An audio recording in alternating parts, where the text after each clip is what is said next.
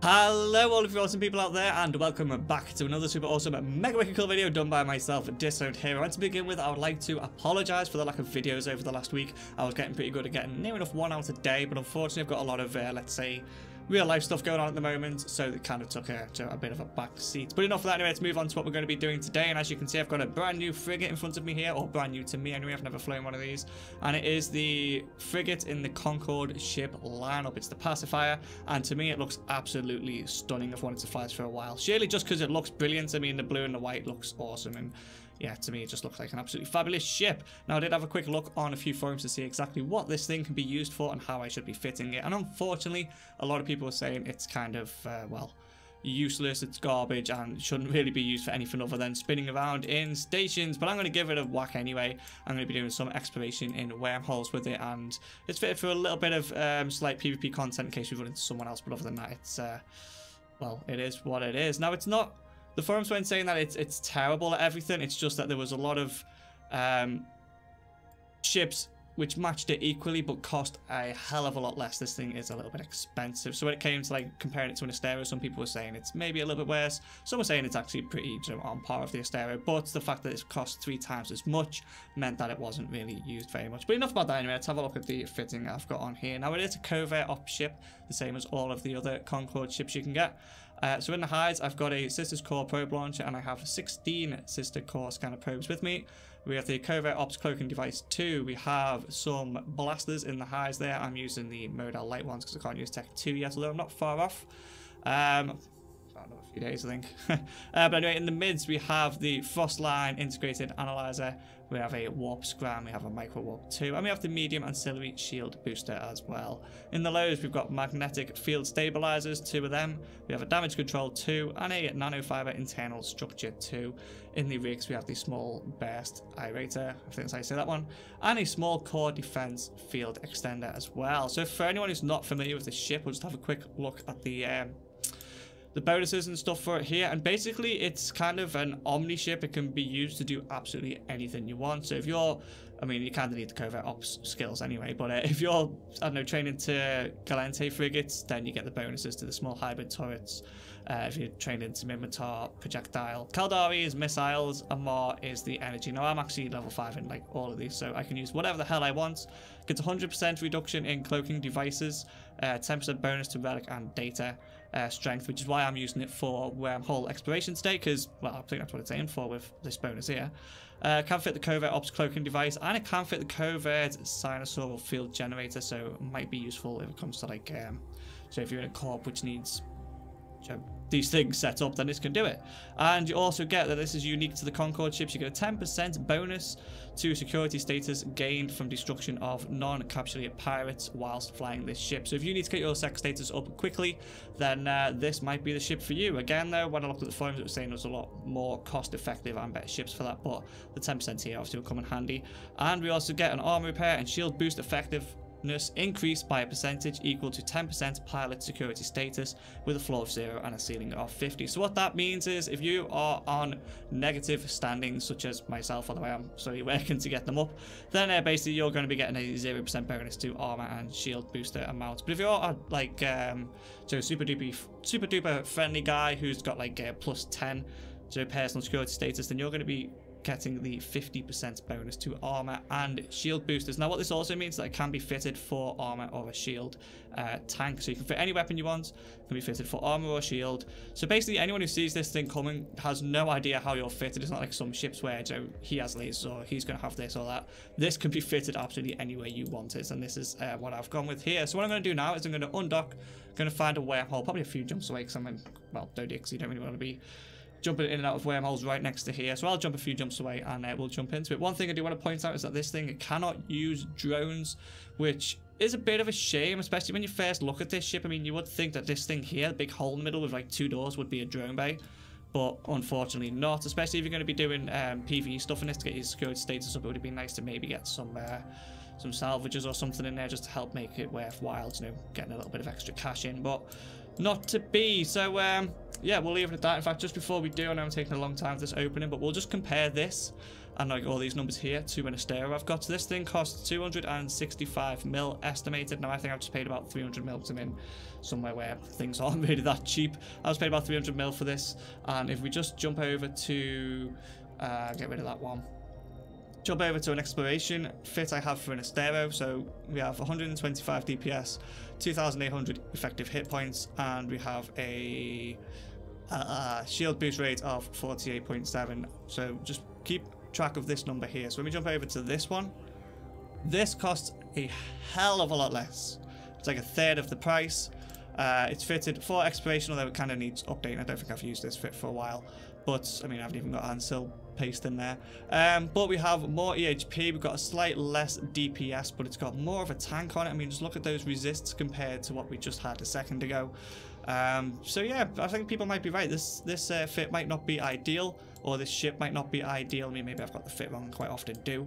Um, but we're going to give it a go anyway, because, well, I had one lying around, and why the hell not? So bear with me, guys. I'll go find a wormhole, and we'll jump straight into it. Alright, so I'm in a system, and we have two... I'm going to put this over here, actually, so you can see. We have two signatures here, so let's start scanning these things down. Um, I'm looking over there. I've just moved to there. Uh, start scanning these things down and uh, see what we can find.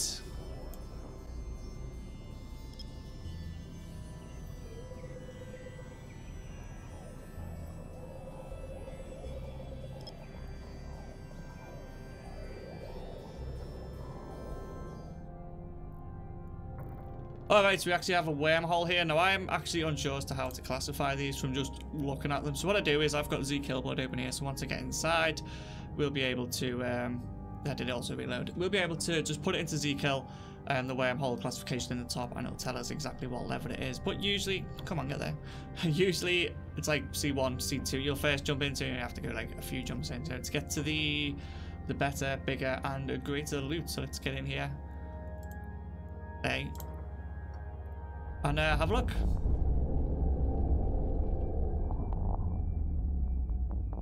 Alright, so I've said it again. I've said it before, but I'll say it again. The first thing you want to do is actually a bookmark um, your exit. I simply call them exit. The next thing I usually do is, I've got descan open on this screen by the way, which you can't see, but I am descanning. Uh, the next thing I do is I just select a random point in space, let's say here. I will align to that, drop my probes, warp to it at 100, not at 0 because you don't know what's there. And uh, activate my cloak. And that's me pretty much safe now in this system. I've got my probes out. I've got... Oh, I need to bookmark a safe. Actually, a bit late for that. But usually I'd whack a safe in there as well. Um, so I can just, you know, obviously have a safe in system. Have I got one here already? I've got a lot of safes from lots of different wormholes. Uh, no, I don't. But it shouldn't be too much of a problem. I'll make one as I'm flying around. I'll just start heading in like a, a random downwards motion here. So, um, yeah, we're safe. We've got probes out. I've got D-scan up. I can see there's nothing here but my own probes on D-scan. So what I'm going to do is start scanning these things down. But actually, let's type this system into Zkill, shall we, and see what system it is. So it is J15 um, 1141. And it is a class 1. There we go. Pretty sure class 1's the lowest and class 5's the highest. Um, yeah, so let me just scan these down and see what we can find. Oh, right, so this one actually looks a lot better than the last. There was nothing in the last. I don't know if I stopped the fast forwarding to tell you, but there was two ventures popped up on uh, D-scan, so I did stop for a second to try and find them, but I couldn't even see any, you know, mining spots around, so I have no idea what they were doing. Right, so what am I doing here, right? I need to save location, exit two, so I know what I'm doing. Uh, next, again, I want to warp to, let's say, this one here, so I'll do that. I'll do that. I'll then warp to this at 100. And this time I'm actually going to make a bookmark on the way. Uh, which we'll just put in safe locations quickly. There we go. So we've got safe made. Probes out. No one else on D-scan, so we're free to scan all these down and see what we can find. Let's have a look which wormhole we're in this time. Actually, like I said, I still have no... Up to medium ships can fit in this one, but I still have no idea what that actually means. So we are J1... I'm using the wrong pad. J130125 which is a class 2, so we're moving up in the world slowly. Uh, so let's see what we can find in here. Now, what I'm looking for, in case you don't know, is I do not want the sleeper sites. This thing's not going to run them whatsoever. Probably get one shot at as soon as I warp in. I'm looking for Blood Raider, Guristas, Um, I don't think Sansha have them. I forget which ones do. But basically, any pirate faction sites, because that will not have any ships inside, or hopefully won't have any ships inside. Can't remember if I've ever warped into one that does have uh, NPCs in it. Um, ooh, two Guardian sites here. So yeah, I'll scan this system down. This one might take a little bit longer since there's so many here. And uh, we'll go from there. Alright, so once again, we do not have anything here except for this uh, unsecured one. And these ones, by the way, if it says unsecured in the name or perimeter in the name, then these are not the ones you want unless you're obviously trying to take on sleepers. So uh, what we'll do is we'll just warp into 100 to show you um, exactly what's inside them. If you haven't seen my sleeper videos, by the way, then uh, click on my name and scroll down and go find them because I do actually do sleeper sites from time to time, but that's not what I'm going to be doing today. So if you're ever unsure, yeah, just warp in at 100. I mean, they're not going to blast you from this far away. And yeah, there we go. As we can see, lots of things here which are going to shoot me. So let's just jump to one of these wormholes I found. And uh, it's probably going to be easier if I just come back to you guys once I actually find a few sites. Because otherwise you're just going to watch me scan down system after system after system. Um, so yeah, go have a cup of tea or something and I'll be back in a minute. Alright, so this is exactly what I'm looking for here. See, it's got Serpentis in the name, so it's actually a faction one, not like a, you know, a, um, a forgotten one. Um, yeah, since that's the only one in here, I'm going to warp to it. I'm not sure if I told you guys what system we're in. I can't remember when I actually decided to stop recording every system I was scanning. Um, but this is still a class 2. We're still in the class 2 system. There's no one in here. Lots of wormholes and lots of these perimeter things as well. But, um, yeah, finally found one. So let's have a look at what we can get from here. So this ship is not. How fast is this ship actually? Uh, two, three, nine, four. Right. So what I'm gonna do is I'm gonna um kind of bookmark these. Oh, I thought I could. Got something going on over there. That looks quite cool.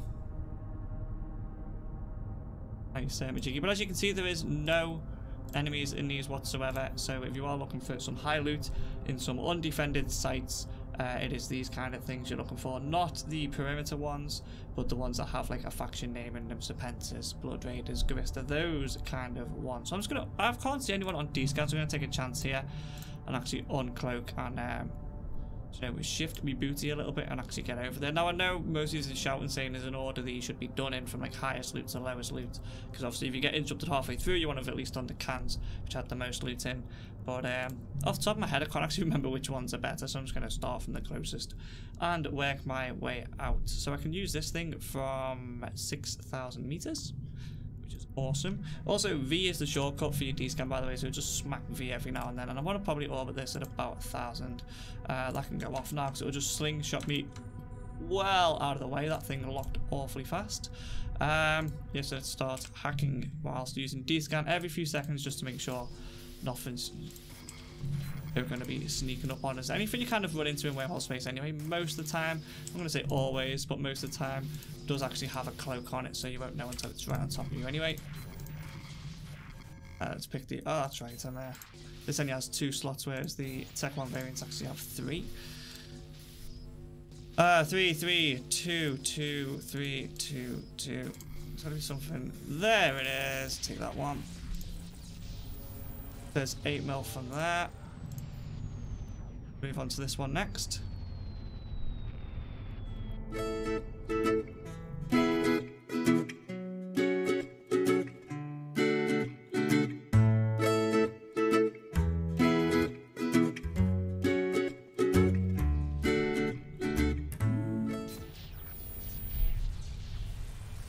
Alright, so we have a Nemesis on scan, so I'm not actually going to warp off yet. I'm going to see if he comes in. I'm pretty sure we should be able to take a Nemesis out. Depends on what range. If he warps in at like north, we should have him. If he warps in at like anything over about 20, it's going to be a bit of a no-go. But I've aligned to my safe just in case. I can still see him there. Nemesis, I'm pretty sure, yeah, can use a cloak. So I'm not sure why he's not cloaked up. He's within, not within 10. Oh, now he's cloaked. Um, I am tempted to try and finish that one, but I think we'll just wait a minute or two and see if he actually comes in.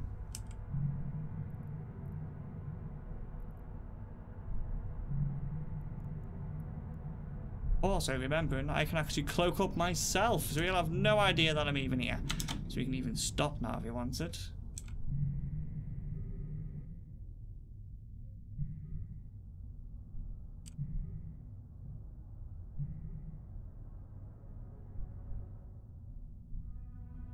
Now, if I was in an Astero, I'd have no problem just carrying that site on, because I know against the stealth bombers, which have virtually no tank whatsoever, so you can easily um, easily take the hits from them, get your drones out and blow them up. But this thing, since I don't have drones and I've got to be awfully close, so unless it's me initiating the fight and I can get close enough to, to actually start uh, blasting him, I can't actually do that because I'm cloaked, uh, I can get close enough to start blasting him, then I'm a little bit unsure. Maybe... Hmm... Maybe blasters wasn't the best idea. I was thinking more of me dropping it on people rather than people dropping it on me. Um, a bit closer to this thing. We'll just wait another few minutes. He, I'm pretty sure he's cloaked up now. I mean, he could have just been passing through. I haven't seen any other probes out unless... Yep, they're mine in space. Maybe we should get rid of them. So unless he's already scanned this down and it as a bookmark, he shouldn't really know where I am. Ah, doesn't matter anyway, because the site has timed out. So, uh, what did we get from that? I can't actually, I don't actually know when I started, but I know I'm not doing too well at the moment. 15 mil.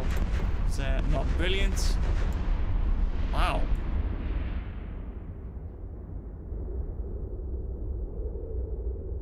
That actually looks rough. I wasn't expecting them all to blow. I've never actually been in one long enough for it to time out, to be honest.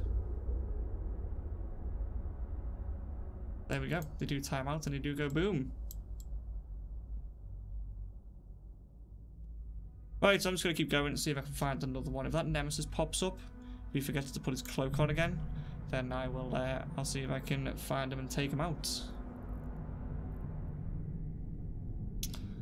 Alright, so here we are in another one. Now we have Sister Core scanner probes out.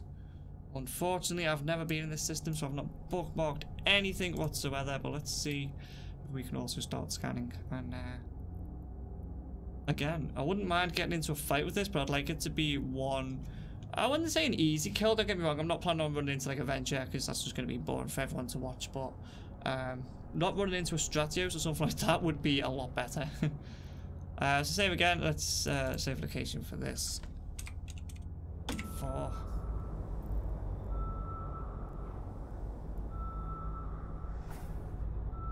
Alright, so I think I have found exactly what I'm looking for. Now this wormhole, I'm pretty sure, is a lot higher than a class 2. And that's because when I look in the info here, it says this seems to lead into a deadly unknown parts of space. But I'm pretty sure the other ones just say it seems to lead into unknown parts of space. So hopefully we get um, some good things in here. There's also a higher chance that there could be people living in here.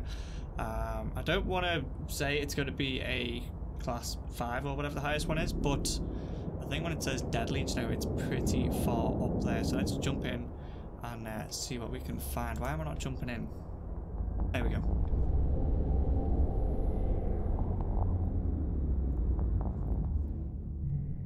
Alright, so straight away I've got two retrievers on uh, D-scan. So I'm just going to do what I would normally do, which is save the location of this as exit 5. I don't believe I had to go through 5 um, wormholes so far, and I've only found one site I'm looking for. There's only actually three signatures in here as well. Uh, well, alright, so we'll go to all, we'll pick one quite far away, because I know there's two retrievers around me here, so let's go to um, this one, align to there, drop them, activate cloak, and warp to. I know I don't usually warp to zero, but I forgot which one I aligned to, so uh, warp to zero it is. Uh, let's create a bookmark on the way, let's just call it save. Uh, too flipping close now. I need to speed up on me creating saves. Anything here? Nothing on D-scan here. Uh, there's an Upwell Moon Mining Beacon. Yeah. For a second I thought it might been a structure. I'm just going to start heading down and uh, scanning about for these things. Now, two retrievers on their own, not a problem if I was in any other system. And I could see how many people were in space kind of thing, even if there's like, you know, five or six and there's only two retrievers out. I'd be pretty safe thinking that, you know, they're not going to bother me as long as I don't bother them. But in wormhole space, you see, people like to, because uh, you can't claim these systems, you can't do what you do in another system and just put a territorial claim thing down and have it up here say this belongs to Goons, this belongs to whoever. Uh, the only way you can claim it is to actually just annihilate everyone that walks into it. So, For all I know, these two retrievers could be flipping combat fit and will come looking for me as soon as you see what I'm in. Uh, but yeah, let's scan these down and uh, have I got a safe already in here? No. Uh, yeah, we'll scan these down and see if we can find anything we're looking for. Oh, there's only three sites, so it'll probably be a bit unlucky. Oh, before we actually cut off... Uh, okay, go away.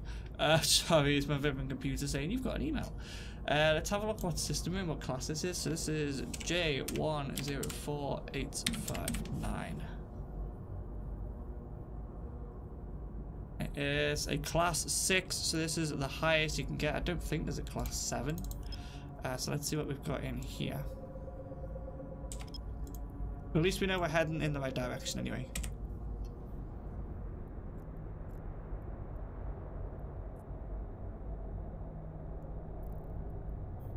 Alright, so we found a high-sec system here, so let's poke our noses out, shall we, and see where we are. Uh, since we're about to jump into high-sec, I see no harm using my uh, my micro warp, and I'm a bit disappointed. I don't know if they changed it. You used to be able to find the um, the faction sites all over the place. Like you jump three or four wormholes and find five of them. I found one, and I went through six different different wormholes there. Uh, where are we? I'm uh, how far away am I from home?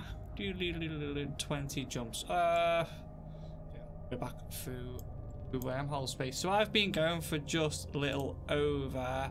I've been recording for 150, an hour 50. Um, so I've actually been flying around probably by the time I actually started and like undocked and stuff, maybe an hour, a little over an hour, an hour 10, hour 20.